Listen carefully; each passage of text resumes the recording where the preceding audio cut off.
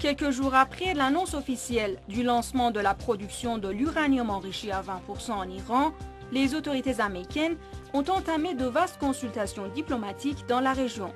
En tournée dans le Golfe Persique, dans l'espoir de convaincre les pays arabes de la région de se rallier aux efforts de Washington pour imposer de nouvelles sanctions à l'Iran, la secrétaire d'État américaine Hillary Clinton a quitté le Qatar pour l'Arabie saoudite où elle s'est entretenue avec les autorités du royaume du plan de nouvelles sanctions contre l'Iran.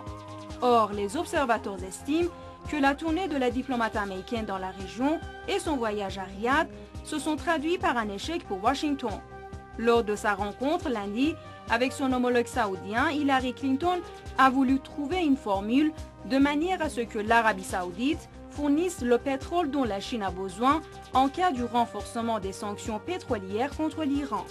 Mais le ministre saoudien des Affaires étrangères s'est opposé à l'idée de sanctions renforcées contre la République islamique d'Iran en soulignant que la Chine était suffisamment consciente de ses responsabilités en tant que grande puissance internationale sans avoir besoin d'aide ou de propositions encourageantes de la part de Riyad.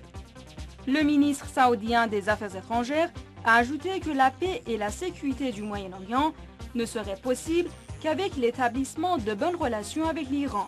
a rappelé que lors de sa visite au Qatar, la secrétaire d'État américaine avait qualifié les activités de l'Iran dans le domaine du nucléaire civil de menaces pour la sécurité régionale et ce afin de former une coalition régionale contre l'Iran. Les États-Unis, qui accusent l'Iran de vouloir accéder à la bombe atomique, sont en train de développer une nouvelle génération d'armes nucléaires et soutiennent les programmes nucléaires militaires du régime israélien, dont l'arsenal d'armes de destruction massive est une menace pour la paix et la sécurité régionale et internationale.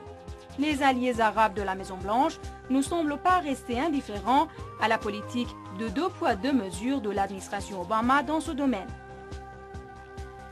En effet, le ministre saoudien des Affaires étrangères, Saoud al-Faisal, a dit à Mme Clinton que la vraie menace vient de l'irresponsabilité des puissances nucléaires qui ne respectent pas leurs engagements internationaux. Selon les observateurs, la politique du double standard des États-Unis est rejetée à la fois par les grandes puissances comme la Chine, membre permanent du Conseil de sécurité, et par les voisins de l'Iran dans la région qui accordent une grande importance à leurs relations avec le peuple et le gouvernement iranien. Dans ce contexte, les États-Unis et la France, qui viennent de signer d'importants contrats nucléaires avec les pays arabes du Golfe Persique, comme l'Arabie saoudite et les Émirats arabes unis, s'opposent à la construction de centrales atomiques en Iran ou à la production du combustible du réacteur de recherche de Téhéran sous la supervision permanente des inspecteurs de l'Agence internationale de l'énergie atomique. Pourtant, l'agence a confirmé dans 21 rapports officiels le caractère purement pacifique